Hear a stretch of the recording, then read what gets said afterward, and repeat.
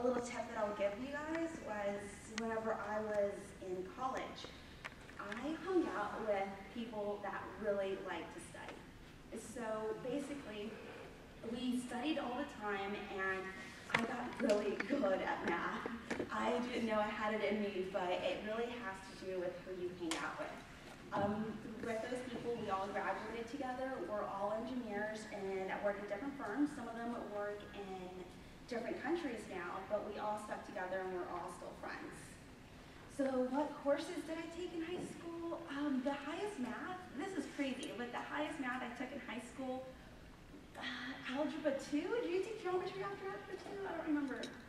Geometry and algebra. Then algebra 2, okay. So a lot of my friends who were math whizzes went on to, um, maybe they even skipped pre-calculus and went straight to calculus 1, and um, they take all these AP classes for math that was not me. I took all AP classes for literature, um, geography, anything that you could think of except for math.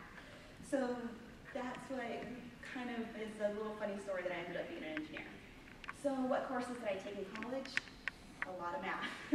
I started off with uh, Cal 1, Cal 2, Cal 3, uh, math for engineers. Anything else? Um, Sometimes you have to take like matrix analysis. Yeah, matrix other- Um, it just, but everything builds on each other. And like I said before, um, it made a humongous difference who I was studying with and who I was hanging out with. Um, a lot of my friends that started off as engineers um, didn't make it because they just couldn't do the math. And it was primarily because, and I knew these guys, um, some of them I knew from high school, some of them I knew from taking Cal 1, Cal 2, and they just didn't make it to Cal 3. It had a lot to do with who you were hanging out with. I always stuck with people that like to study, and um, we all graduated with a really high GPA. Um, and so some of the uh, engineering courses that I took in college were um, statics, structures, um, also environmental engineering, um, some classes on um, land development engineering. Help me out? Transportation. So, at least for structural engineers and civil engineers, um, it's very broad. We could have gone into transportation. We could have gone into um, civil engineering, which is drainage um, design. What else? Um, structural engineer for offshore and onshore platforms.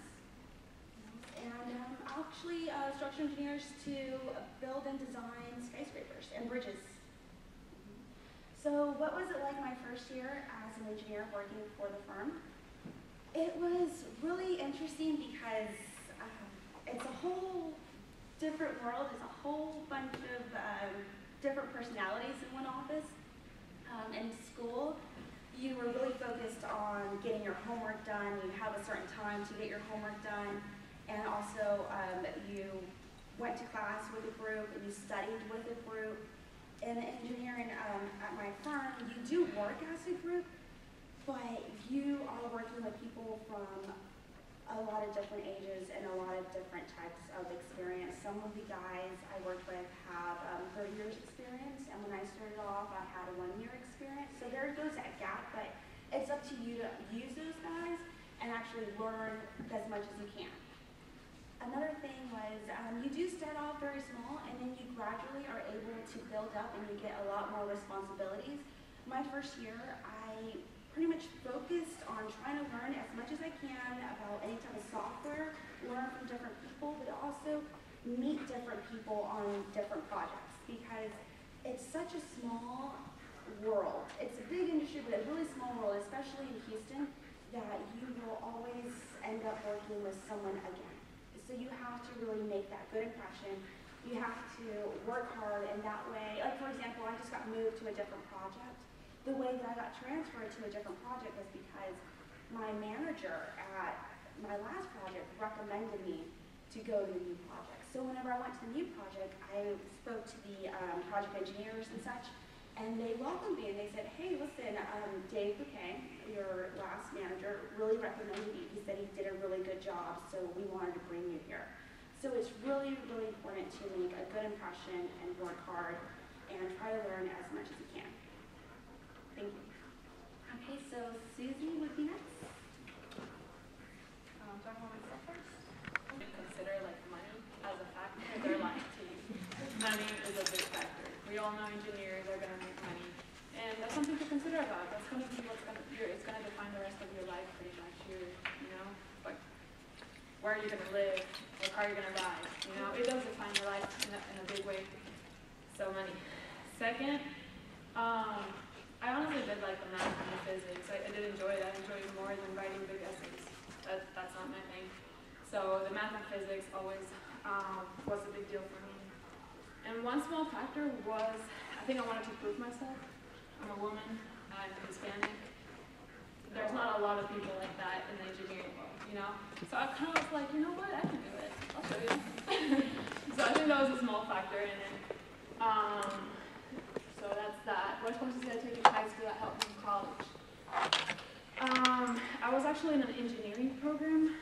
Um, I think you guys also have like programs here focused on engineering, right? Okay, so in my high school they did the same thing. They had an engineering program. So I joined my junior and senior year, and um, I mean, it helped out a lot. And I think colleges see that. It's like, wait, you already took engineering classes? That's awesome. So it actually helped me out um, getting into colleges and software. We, I, don't know if you guys use um, AutoCAD or any softwares like that. You're gonna use that in the industry, and you're gonna use that in college. So the fact that I could, I already knew all of my tools, it helped me out greatly in college. Uh, what courses did I take in college? So we are, well, I'm a civil engineer. I think Jimmy as a civil engineer, um, very broad. We now we're looking at structural engineers, but civil engineers, like she said, um, can be structural, can be water resources, environmental, geotech, transportation, super broad major. Um, so I actually wanted to be an environmental engineer when I was in college. So I took a lot of, of like environmental and water processes, how to clean water, how to um, make sure that people get water and make the process easier for everybody. Um, but when you graduate, you graduate with a civil engineer hat. You you don't want to limit yourself, right? So you apply to jobs, you see what you get, you see what company you like, and um, I ended up doing structural, which I like. Um, well, obviously I took structural classes too, so it's not like I had no idea. I always took, but I focused myself more in the environmental side. Uh, what was my first year as an engineer working in a firm? Um, so, like I said, I started as a structural engineer. Um, I was there for about a year. It's very technical. Um, you design a lot of design, a lot of math calculations, and then you do reports, right? It's I like I like doing it, but I knew that I wasn't going to be a technical engineer. As an engineer, you can either choose to be a technical engineer, design, do the work, do the hard work, and you're going get paid well, or you can be more of a managerial engineer. You know, be in a project, um, realize what is needed in the project for it to profit, move along, and um, and I found out that's more of what I want to do. So um, I'm currently in a rotation with um, the contracts. I'm just contracts group. So basically, uh, what I'm doing is that I'm on site and I, I manage the contract. So I know what the contractor has to do for us and I tell them what to do. Uh, well, people tell me and I tell them because I've only been in the company for two years, but, but that's more what I want to do. I know what engineering is like, I know what the contractors have to do, and I know how the work is supposed to be done, but I don't necessarily want to design what they're doing. Um, so that's kind of think your first year in, in a company, you're, you don't really know like what you're gonna do, and then you start figuring out yourself and what you wanna accomplish later on. So that's that. Am I talking too fast? Alright. Um, okay, so show of hands, how many of you all know you wanna be an engineer, but are not quite sure what major or what branch? You all know? What? I have no idea. Okay, so three, four, five people. Um, I think that's what it was like on my senior. I knew I wanted to be an engineer, just not, not exactly sure what. Um, so I'm gonna just go over a few of them, major ones. Honestly, there's so many new majors right now. There's a food engineer. What's a food engineer? but these are just a few of them that um, that I know about. Um, aerospace. Aerospace was actually pretty big here in Texas because of the Space Center. Um, no, not so much. Uh, but they, they also do, they don't also do shuttles and satellites. They also do jets and helicopters. They design all of that stuff. I think it's freaking lesson, but um, it's like mechanical engineering. So, um, but I know like we graduated from Texas A&M, Eric and I, not Jimmy, I don't think I went to you like, um, and they have a, a good aerospace engineering program. Like I said, probably in Texas, it's not going to be a lot of jobs available, but um, but yeah, if you go somewhere else, I'm sure you will. Agricultural. Um, so obviously you deal with agriculture. How can you make the process uh, produce more, right? How, what machines can we invent so that the process goes faster and smoother and gets us more money? Um, biomedical.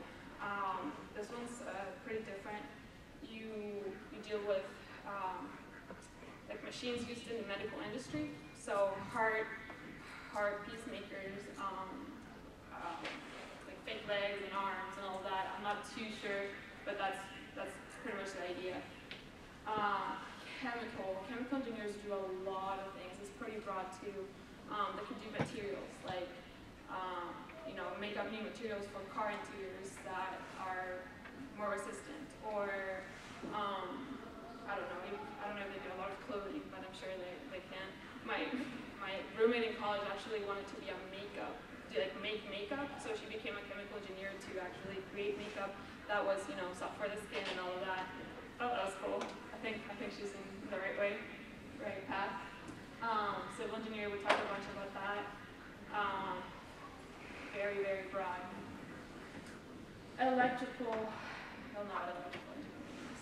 Um, my father-in-law is actually an electrical engineer, and he, he has a really good job. Um, he deals with like chips and cell phones. Like he's working right now on a, on a chip that you can use to use with a credit card, so you can pay stuff with your phone. I think there's something like it already out, but he, he worked on that a little bit. Um, yeah. But electronic I think that's pretty much electrical. Just more computer based. Environmental is with civil. Um, a lot of chemistry involved in environmental, which I wasn't aware of when I got into it. A lot of chemistry. Um, industrial. Industrial is a cool one. Um, not a lot of design. Um, if you are like me and you want to go more like the process, like how do I make this faster? How do I make this product be better and stronger? And, and you know, you deal with the process of making a product. So in a car dealership or not dealership, a car manufacturing uh, facility, you know, you, you look at the process, you analyze it, and you want to make it better, faster, you know, um, cheaper. Um, mechanical, know, it, it's, it's like civil, they're very, very broad, that can be in, in anything. In our um, offshore, so in our company, what they do is that they look at the, the equipment that's being placed in the platform. And they make sure that it's the right equipment, they make sure that they're gonna, um, ship it on time and all, and all of that. Like they, they don't necessarily design it, but they deal with it and make sure it's the right, right equipment for the job. Um, petroleum, big one in Texas, definitely, you're gonna get a job. Ha- That's what I've heard. If you graduate with a petroleum engineering in Texas and you want to stay in Texas, you're gonna get a job. Um, I don't know what else to say with it. It's pretty self-explanatory. Petroleum, you deal with, you try to find where the oil is and how to dig for it. Um, software, more technical, a lot of programming. If you like programming, I don't know if you'll uh, dealt with MATLAB. Programming software. That's, that's what I did. I didn't love it too much, so I stayed away from that. Um, go. I think that's it. Good. Awesome. All right. So, why did I choose engineering? Well, when I was a kid, I had three brothers. Well, I actually still do have three brothers. But and my brothers, my brothers used to build stuff out of wood, and I, I always enjoyed building stuff. But I, even more, I like designing stuff, like sketching it up on paper, figuring out how much wood we need, how many screws we need, how many nuts and bolts we need. And I thought that was pretty much engineering, so I decided to be civil engineer. And I was also good at math. Um, I enjoyed math. So it seemed like a logical choice. So that worked out. Um, what did I take in high school that helped me in college? I guess my answer would be pretty similar to theirs. Um, obviously math, I took up to calculus, which is at the community college in my, in my hometown. And so it is good, it helps you, it helps you prepare for, for the difficulties of the college class and um, it gets you some college credit, saves you some time and money when you get to college. Uh, same thing with AP classes. I took AP psychology, government, English, pretty much everything I could. Um, so that it just helps you prepare for for uh, what college classes are like. Uh, also, with the English classes, anything with communication, with writing or speaking, it's important. Uh, no matter what your profession is going to be, people people who go far are the ones that can communicate, they can talk and write. Because I mean, if you're you could be the smartest person in the world, but if you can't communicate your ideas to other people, it doesn't do any good. So that was important to me. Uh, also, playing sports. Um, I played basketball, as you can guess, school and college. And if you if you play a sport and you take it seriously, it's you really can learn a lot from that. You learn teamwork, you learn work ethic, time management, and all that. And it's it's also a good thing to have on your resume. So that was another big thing for me. Um, what did I take in college? Well, obviously all the engineering, math, physics, all that stuff. Um, also, I took a, a speech and presentation class that wasn't required, and I didn't really want to take it, but I knew it would be good for me. And that's that's the kind of thing. Getting out of your comfort zone with classes like that will know really pay off for you in the future. Anything. I'm going to say this a lot of times, but anything with communication, getting better at talking and writing, is going to help you no matter what job you're doing. Um, my first year as an engineer, um, similar to what they said, I mean, you learn a lot. You learn a lot every day, you learn a lot every week. So by the end of your first year, you're, you'll be surprised at how much, how much you've learned. Um, I was also busier than I thought I would be. Like when I was, when I was in school, I thought, man, when I get a real job, I'll be done with work at five every day. I'll actually do homework at night or on the weekends. But it's not, it's not always like that. So while you're still in school, enjoy it because, it's, it's a little different once you get out in the real world. But it's also, it's also good to be, it's also good to be in the real world, making money to use what you, what you've been learning through the last, for me, was six years when I grad school. Um, another thing was, probably most of the stuff that I learned in college, I haven't necessarily used in my job. Um, an engineering degree, it really is a problem-solving degree. It shows employers that, that you know how to learn things, you know how to work hard, and, and teach yourself things. And you can, you can learn things on the fly. I mean, I haven't used, I took calculus up to Calc 3, and I, I haven't used any calculus in my job yet. But it just shows that, that you know how to learn and how to, how to work. Um, so that's all about me. Go ahead. Well, now we're going to play, I need some participation here. We're going to play true or false. So you two are in this too. Um, so we're going to put some statements up there that you may have heard about engineering. I've heard all these before. And I need a show of hands to tell me if you think it's true or false. So the first one, engineering is only for guys. Who thinks that's true? Are you raising your hand? all right, obviously, go ahead. That's false. Um, there's a lot of girls in our company. I think there's an increasing number of girls in engineering overall. Actually, in our structural department, it's like it's like half and half. So the ratio isn't as bad as you think, guys. You, you can see it's going. Um, next one. Engineering is all math. Who thinks that's true? Nobody? Right. It's false. I mean, obviously there's math and science involved in engineering, but also, like I said, communication is important. Being able to write, being able to talk, and communicate your ideas. And interpersonal skills, being able to relate with other people. In any profession, is important, but especially in engineering. You If you like math and science, you should be an engineer. Who thinks that's true? I think it's true. Anybody? It's, it's a little bit of a trick question, but I would say it's true. Go again. Go again. But just because you like math and science doesn't necessarily mean you have to be an engineer or that you like engineering. But I mean, obviously, the basis of engineering is math and science, so, so that's a good start. Um, what you? Go ahead.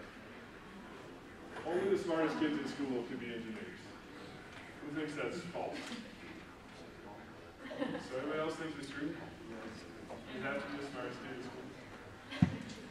I think that's false. So, Yeah, like yes, Well, just my story, like Jania, I, I honestly didn't take calculus in high school, so I came into college, and the, teacher actually asked, who has taken calculus before? And it was me and two, uh, another girl raised their hands, you know, we made it, it's fine, just work a little harder. It's just, I think the biggest thing is persistence. And if you really want to do it, you're going to get it done. Because like I said, I started off in the engineering program um, with guys that I thought were pretty smart, you know, got things very quickly. But uh, they just didn't have the persistence and they did not graduate as, um, as engineers. So I think that um, you, as with anything, if you want it, you're going to get it done, period. there's plenty, there's plenty of smart kids that don't make it as engineers for whatever reason. I mean, there's plenty of kids, I've seen plenty of kids in college and at work that I wouldn't say were the smartest kids in high school, but they, they made it. So, if it's, if it's what you wanna do, you'll find a way to work hard and make it.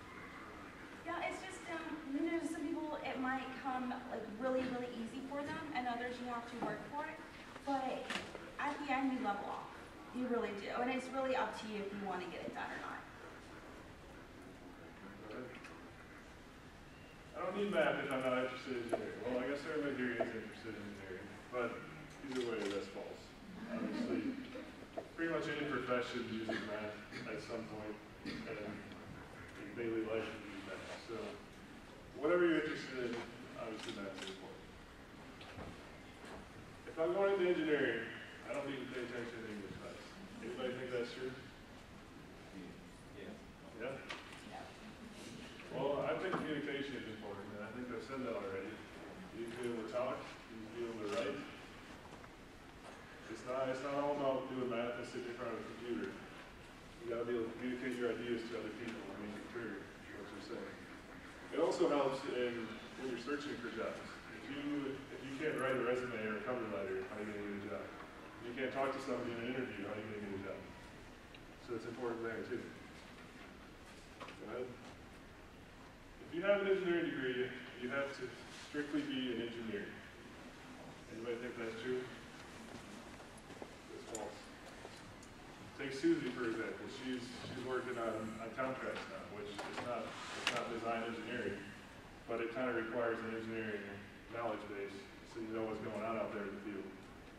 And there's, I mean, there's thousands of other jobs that you can get with an engineering degree. Like I said before, if an employer sees that you have an engineering degree, they see it as a problem-solving degree. I mean, you, you know how to teach yourself things, you know how to work hard. Uh, it shows you know how to learn, really. I mean, that, in our company, there's, there's people in contracts, there's people in business, business development, sales and marketing, things like that, that start off as engineers. And they have that knowledge base as an engineer. They know how the company works, they know how the projects work, but then they, they move to the business side of things. And I've, I've known people with engineering degrees that have done things like business, uh, finance and banking, stuff like that. Um, go to law school and become a lawyer. Uh, I've heard people getting into med- medical school with the, with the biomedical engineering degree. So there's a lot of different things uh, that you can do starting out with an engineering degree. Uh, next one, you need an engineering degree to, to do work in the engineering field. This one is sort of true, but false. Because there are, well, first of all, there's jobs that you can do with other degrees besides engineering. Um, and also, I mean, I would obviously encourage everybody here to go to college and get a degree, but there's also jobs out there that don't require any degree, just some, some training courses where, like in our company, there's designers and drafters that, that make pretty good money doing what they're doing without ever getting a degree. But I encourage everybody to degree. So go on. Um, engineers are all nerds and dorks. Who thinks that's true? Anybody thinks this to about like this, obviously that's false. And like we said, when you're when, when you're in the real world, especially an international company like this, there's every type of person in here. Uh, we meet people from all over, of all ages, and none of them are nerdy nerds. Uh, next, if you want to make a lot of money, you should be an engineer. True? Uh, would say false. The money is good. Uh, the starting salaries are up there with, within the other field. But you don't want to do it just for the money, obviously. I mean, do something, do something that you like. If you, if you do engineering for the money and you don't like it, it's not worth the money. So what it comes down to is, are you doing what you enjoy? And that's it. Who's got questions? I was just building out of the money thing, yeah, like I said, money was a factor, but honestly, you can't sit in a, in a desk and design and do math, because if you go crazy for more than an hour a day, you know, like, you're gonna hate your job and not make it. You, you need to be able to enjoy that, to have a problem, solve it, and enjoy the fact that you're in the process. And, um, patience, lots of patience. But, um, yeah, any questions? There's gotta be some questions. If not, we'll ask y'all. About anything, So- day-to-day things. Okay, so who wants to be like a civil engineer? Any branch of civil? Yeah? What about mechanical? Okay. Um, chemical? What about the rest? Electrical? Yeah? Electrical school. Industrial? No? What is everybody else? Aerospace? Yeah. You could do mechanical. Um, what a lot of people do is do mechanical, and then they focus on like motor engines and stuff, just in case they don't get a job in the aerospace. What? What do you have against aerospace? Because the, the space center is gone. um, our coworker, we have a coworker. we have a coworker that started in, in aerospace engineering, and and then he switched to ocean engineering, Travis Condit because he said, man, there's gonna be like a few job positions in what I wanna do, and, you know, he didn't wanna risk it. I don't know, it's all about him considering all the factors.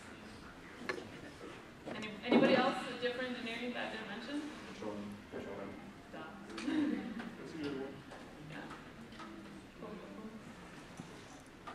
Where'd y'all get your, your degrees from? And then, and you, Uh, this, this year, then they, oh, yeah. Do you have a master's in mechanical engineering? uh, uh, structure, civil. Oh, sorry, I did.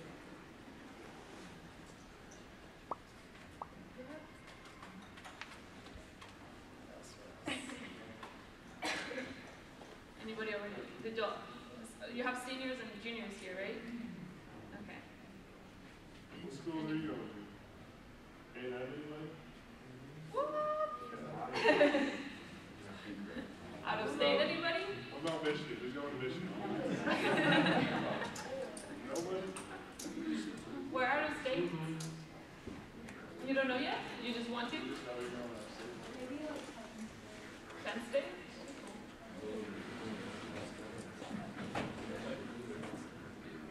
Julie, you have a master's degree, how did you have a master's No. degree? You have a No, graduate master's. degree? So you were, you could do with a bachelor's degree still? Oh, yeah. yes, definitely. Yeah, Um, master is not required. Uh, I mean, most places it looks better on your resume if you have a master's, but being in, being in Houston, there's plenty of jobs out there with with a bachelor's. I mean, uh, a master's is good, it's good to have a broader knowledge base and, and kind of get an idea of where all these equations are coming from. But, that's if you know for sure what you want to specify your, or focus on. yeah, You don't want to go get a master's in something that you're not sure. Yeah. having like four languages help? Oh, yeah. Definitely, it really puts you ahead. I mean, um, I was in the middle of, uh, doing a role change and one of, after, I, I speak fluent Spanish, so after, that was like, um, one of the second things I said about myself, and after that, it was a total game changer. Um, the ball was in my court throughout the whole interview, so, um, if you don't speak a second language, I really think that you should definitely try to learn one. it'll give you, it'll open up more opportunities for you. I mean, we Yeah we have projects all over the world, in you know, South America, China, everywhere. So we're working with international companies that they may not all speak English. So if you're if you're able to communicate with them, that that just opens up more opportunities for you. Like Susie also had an opportunity in what? Uh, we were at a dinner and we've got working for an engineer, civil engineer in Ecuador. And for some reason somebody mentioned that I was Colombian and he and the guy was like, Wait, you speak Spanish? It's "Yes." Why? I need you, but they they wanted them like in a month. In a no, they wanted me to move in a week, so I declined it. But um, it does help. I mean, it opens up doors for sure, Yes. for sure. Um, but yeah. Is there anything else that would help them? Other than, um, languages, master degrees? Did any of you do internships or co-ops? Oh yeah, yeah, internship. Honestly, yeah, master's is awesome, but experience is worth it's worth a lot, a lot, a lot. If you have your resume, you have ten years of experience in structural engineer, they're gonna want you. know, They're gonna hire you this. Um, so yeah, definitely, definitely internships. Um, I'll speak on the um, coming from a different spectrum, but um, I never had an internship.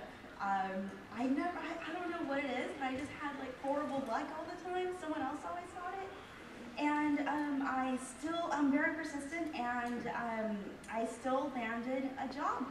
But uh, I know it would have helped me, definitely would have helped me if I had an internship. But if it's just not happening for you, um, you could still get a great job.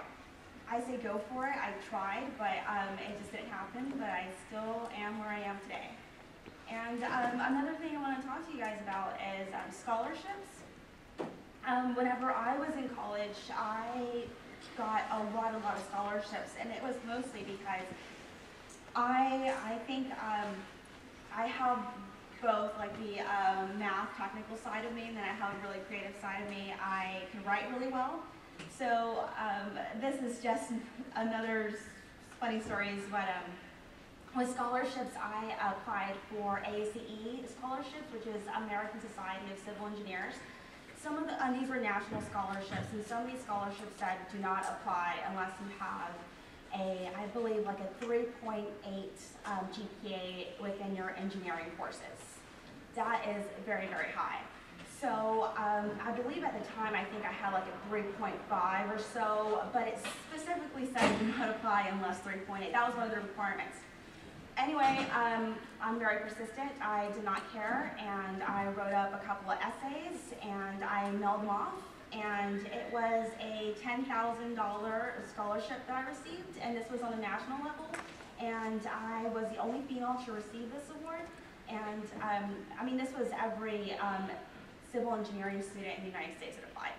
So if you come across scholarships or anything that tells you you can't do it because of this, I say go for it anyways because you have nothing to lose. So while I was in, um, this is so crazy, I, I'm just really persistent and I always, I'm a writer and I always just, in school I was always looking out for scholarships. So um, at one point I remember getting um, about $16,000 a year and then 10,000 and then 12,000 and it was just because I was always looking out for scholarships and I would apply. And there was one instance where this was a, um, I think Texas Society of Structural Engineers or something like that. This was just for Texas. And um, they had a scholarship where you had to apply, you had to have a certain GPA, and you had to write scholarships and whatnot, and you also had to have um, letters of recommendation from your professors. So I say you keep a really, really good um, relationship with your professors. So try to aim for that A or maybe, you know, a B, but you just try to keep really good grades. So I would go back to them and they would write me letters of recommendation. And for this scholarship specifically, I remember a lot of people applying and I got the scholarship. And um, they sent me a letter home saying, congratulations, you won the scholarship, whatever. So then whenever I went back to school the next day, um, everybody, I was just like, hey, you got the scholarship, and cheering, and da-da-da. And then I remember um, one of the smart, well, the smartest kid in um, our civil engineering program, he went off to medical school. But he came up to me and he shook my hand and he's like, hey, you beat me. And I'm like, what do you mean? And He's like, that scholarship, everyone applied for it, everybody got rejection letters, and within that rejection letter, it said who got it, it said your name, your, um, your uh, degree, and uh, what school you went to. So, but then again, like I said, it was a very specific scholarship where you had to have a certain criteria to apply. I didn't care, I applied anyway, and I say I wowed them with my essays, and I went ahead and I got those um, engineering scholarships.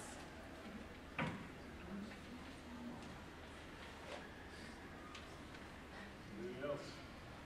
How much time do we have? You have like some minutes. Six or minutes. We've done fabulous. What was your favorite class in school? In college? In college, mine was math because, like I said, I wasn't so great at it in high school, but um, once I got to college and I hung out with the right people, and uh, we would study all the time, and we got really good. I got really, really good at it. I didn't know that's the thing is that you're growing up, and I always thought I'm a better writer or I'm a better artist or whatever. And then I got thrown into math, and there was only one way to do it, and that was go all the way. And um, I studied with the right people, and I became really good at math. I would actually, uh, I would be very comfortable with uh, teaching calculus. And this is coming from someone that I didn't even take calculus in high school. What about Ron? Um, I like the environmental courses. I really did. A lot, a lot of chemistry, so it was different to all the math that I was doing in the other classes. I it was fun. Me, I would say, I don't know, all the structural engineering courses, I mean, it's, you start taking them your, your junior, senior year, that's when you start putting together all the math and physics that you've been taking for all these years and actually do some, some engineering and see how it applies in the real world. That was probably the most interesting part for me. Um, in meetings and stuff, we, we have a lot of meetings. In meetings, you will come across um, with people that very, very smart, but they cannot communicate whatsoever. Um, it's, I know we all have experiences with this. I, I have meetings with men that have about 30 years experience, and um, a client will ask them a question, and they will literally shut off. Like, and it was something that they designed. So a question about their, or their design, which they should know about, and they would just completely go blank. So um, I'm 100% with this. Eric mentioned it that um, communication is key. I, I believe that it will learning a different language and um, being able to communicate with people will really set you above and beyond the rest of the crowd. You have people from all over the world too, so Yeah. people who you're really, it's hard to understand and you're like, oh, in college, in college you're gonna have professors that you will not, oh, yeah. not understand for like a week, and then you'll finally get used to the accent. And so, just, you always hear people complain like, oh my god, I'm doing so bad at the class, 'cause I can't understand a professor, you know? You gotta, you no, gotta learn, that's not what you're doing bad in class. learn how to teach yourself out of the textbook real Yeah. because sometimes you go have to do that. Um, something we didn't talk about was the EIT, or the engineering exam. Are you all aware with that? Aware of that? That's true. And it's, it's yeah. I didn't know It's about pretty that. recent, but just so you all know, um, so when you graduate from engineering, um, with an engineering degree, you have the option to take a FE, Fundamentals of Engineering exam, and and you get, um, and then you have to have four years of experience, four years of experience, and then you take your professional engineering exam. This is just basically certificates that show that you actually know know engineering, and and you get you know a certificate, and when you get a PE after four years of taking the fundamentals of engineering exam, you have um, you can sign off drawings, which um, in offshore it's it does help, but onshore for sure you definitely need to be able to sign drawings. Um, It's just more, it's more Oh, responsibility, no, no, which no, we don't you have want no to experience yet. But it's, it's all, you're, you're putting yourself, like you're saying that somebody else's design or your own design is good enough that this, this building, this bridge is even fall apart. So it's, it's more risk, more responsibility, but with that comes more authority and more. something to think about. Right? How do you feel like working for the company that you work for? Like, it's like an opportunity that maybe you're, you're like, sort of not like, how does, For me, I, I talked to the company at the career fair at A&M, then got interviewed for that, and, uh, they were, they were hiring a lot of people for this big project, me and Susie were on the same project. They were hiring a lot of, a lot of new people for that project at the time, so they put me on there. But yeah, most of, most of my job opportunities out of college came from the career fair. Um, so just get out there and talk to people. Same thing, I mean, whether you're looking for full-time or internships, uh, go out there, get your resume out there, and, and something should come up. That's the way I um, also got my start. Um, it was an engineering fair, and I got very lucky because my manager, who the guy who's my manager now, he was there, and um, I left a really good impression with him. And again, I did not have any internships. I wish I would have, you know, while I was in college, but I didn't. But I think that if you present yourself well and you're able to communicate, and um, you are um, able to write a well-written cover letter and a resume, that goes very far. And I've seen, I've been to career fairs before uh, for University of Houston, and um, people from all over come, and I've seen some of those resumes, and you, I mean, I don't know, they're not taking it seriously, but you have to at least run a spell check, and, um, you know, just the regular formatting. It says a lot about you. Your resume is pretty much sums who you are on paper. So let's just say I've never seen you before, but I'm reading your resume. It gives me an idea of who you are, this guy or this lady. Um, ran spell check. Everything is um, good use of punctuation, um, good GPA, listed, you know, maybe like high school courses she's taken. It says a lot about you. Um, I hate to say this, but sometimes it is about who you know. Uh, probably that was your question going forward, maybe. Um, so if you have people like my parents are in the industry, and I think that helped a lot. You know, getting out of college, he called everybody and anybody he could he, he knew, and, that got me a, a few um, interviews. Not not the job that I'm in now, but they did. Um, so use it if you have a dad, a friend, a somebody that's an engineer. Why not? They might have they might have the position just for you that you can fill up. So yeah, don't be afraid to use that. Contacts contacts are big. And I'm here to talk about the opposite of that. um, I come from a family of engineers, but um, all of them went into real estate. And so my dad owns properties in Houston and in Mexico City and stuff. So he is no longer a mechanical engineer.